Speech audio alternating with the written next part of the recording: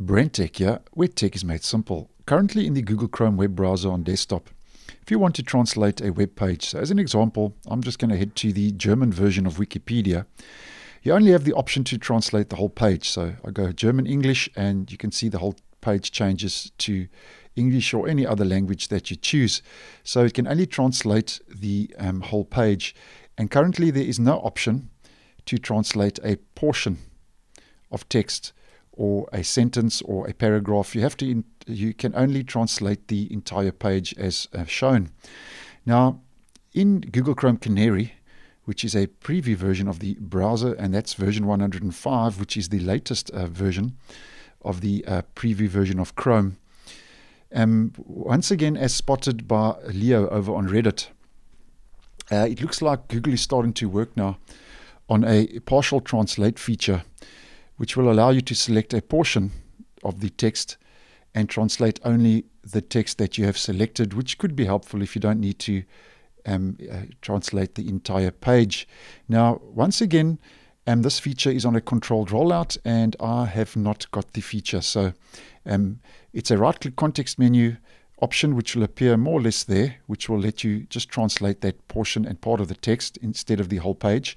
And it's on a controlled rollout. And once again, I haven't received it yet in my region, which seems to be a common thing currently. Um, I'm not getting too many of the new uh, features that are on that are on a controlled rollout with the preview versions of the browsers of late.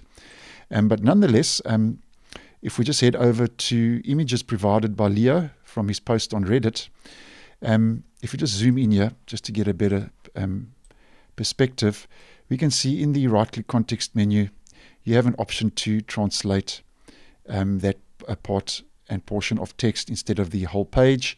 And if we just go to the next image, up in the top uh, right of the Omnibox, um, it will um, you, you will see the selected portion, uh, portion of text uh, that you have selected, and then you will also have the option uh, to change the language of that portion you've selected instead of the, the entire page. So just to go to the next screenshot, so you'll be able to change that portion to any language and then translate just that portion of text that you have selected.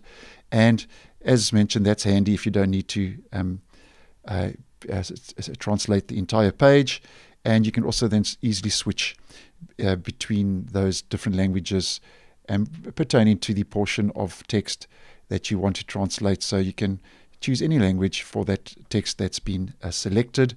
And at this stage, um, like a lot of the features that Google does start testing in uh, uh, Google Chrome Canary or in any of the preview uh, browsers for that matter, um, there's still aspects to this feature that are missing. It's still early days.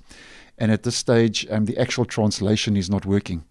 So um, this is something obviously Google will work on, and if it does happen to roll out to a stable version, I think it will be a handy feature which will enable you just to translate a, a part and portion of the text instead of the entire web page. And if anything does change, and this feature does become available uh, in my region, I will post accordingly and let you know. So Google just working on that now, where you can translate a, a part of the text instead of the whole page. So thanks for watching, and I will see you in the next one.